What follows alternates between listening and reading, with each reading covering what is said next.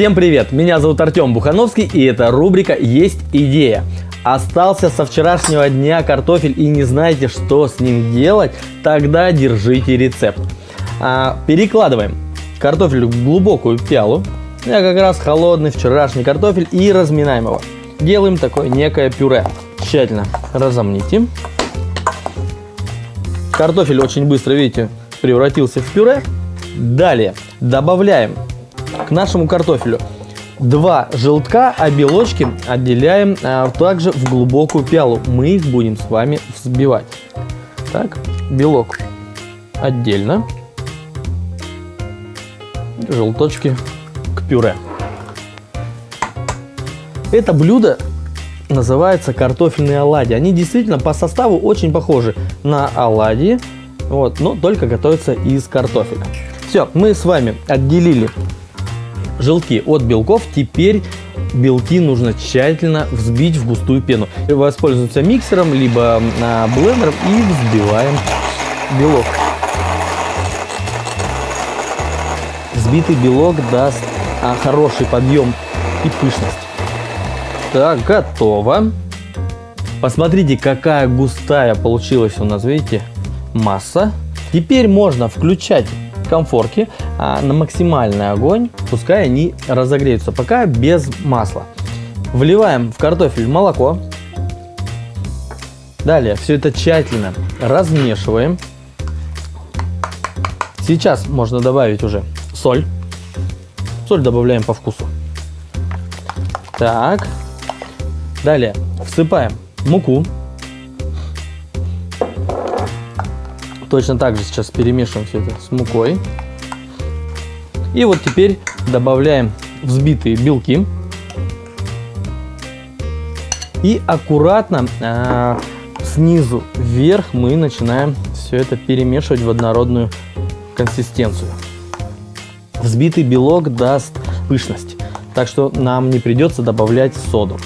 И вот аккуратненько, чтобы не разрушить структуру белка, перемешиваем.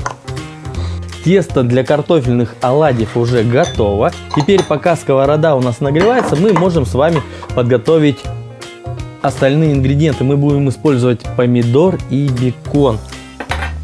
У помидора вырезаем место там, где была плодоножка и нарезаем достаточно крупным и толстым кругляшком. Кожицу мы с вами удалять не будем, как раз таки она у нас будет держать форму нашего томата и вливаем обычное растительное масло. Совсем немножко. Сейчас здесь будем обжаривать томаты. Все.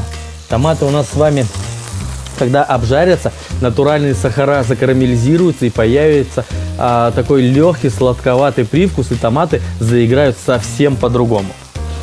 Точно так же добавим немного масла на сковороду, где будем обжаривать наши картофельные оладьи. И теперь с помощью ложечки выкладываем вот таким вот образом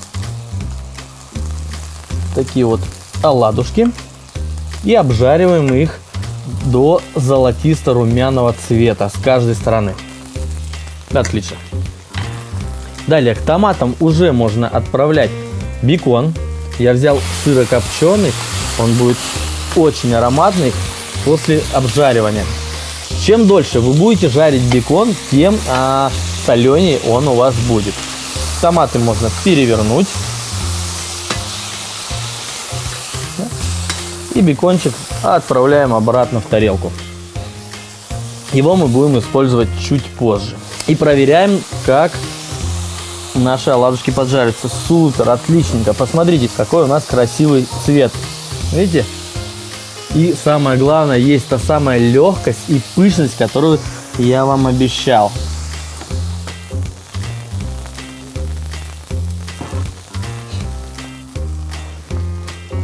Ну что ж, у нас практически все с вами готово. И сейчас как раз таки можно приступить к этапу оформления. Итак, выкладываем первый наш оладушек. Далее кладем вот такой, смотрите, обжаренный, подпеченный томат.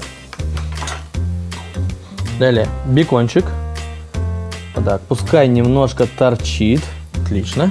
После выкладываем опять же наш оладушек. Так. Опять бекон.